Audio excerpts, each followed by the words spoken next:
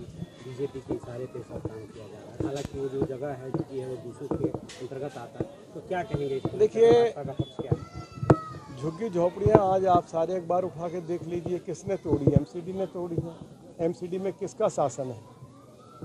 अरविंद केजरीवाल की party MCD में rule कर रही है शासन कर रही है और यदि उनकी एमसीडी झुग्गियाँ भी तोड़ेगी और आरोप किसी और के ऊपर लगाएँगे तो मैं आम आदमी पार्टी के नेताओं को लानत भेजना चाहता हूँ। उनको थोड़ी सी शर्म आनी चाहिए कि आप झोपड़ी तोड़वाते भी हो और फिर दूसरों के ऊपर आरोप लगाते हो।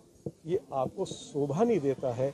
इसीलिए दिल्ली के लोगों ने लोकसभा के चुनाव में सात की सात सीटें भारतीय जनता पार्टी को जिताकर दी हैं और जब विधानसभा का चुनाव होगा तो इनकी हालत इतनी खराब होने वाली है कि आप उसके बारे में सोच भी नहीं सकते हैं। ये पूरी दिल्ली में यदि पंद्रह सीटें भी जीत जाएँगे तो आप जो सज़ा मेरे लिए मुकर्र करेंगे मैं दूँगा लोग आ, आ, मैं उसको उसको पूरा करूँगा। आज लोग ये नहीं सुनना चाहते हैं। हमको एलजी काम नहीं करने दे रहे हैं हमको केंद्र सरकार काम नहीं करने दे रही है हमको भाजपा काम नहीं करने दे रही है। अरे भैया नगर निगम में आपकी सरकार है दिल्ली में आपकी सरकार है। और जो कमिटमेंट जो वायदे आपने किए, आप उनको पूरा करिए।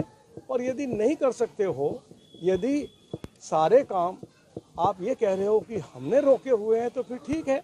सरकार जो है, हमारे हाथ में आने दीजिए। हम जो भी काम, जो अधूरे हैं, उनको हम लोग पूरा करेंगे।